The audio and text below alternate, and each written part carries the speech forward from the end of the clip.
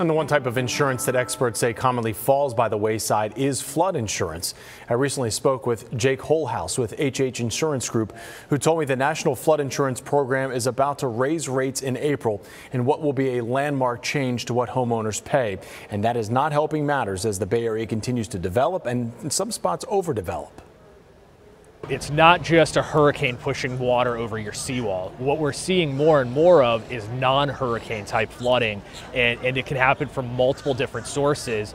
And so flood is, is really a, a pretty big peril that when we think about it, it's really just any source of water coming essentially from the outside into the house.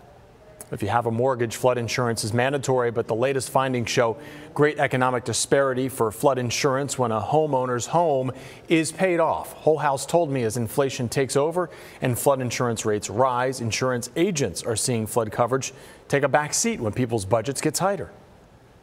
The people that can afford flood the most typically have it, and those who can least afford to take the loss of a flood typically are the first ones to drop it because they can't, you know, within their budget, they, they believe that they can't afford it.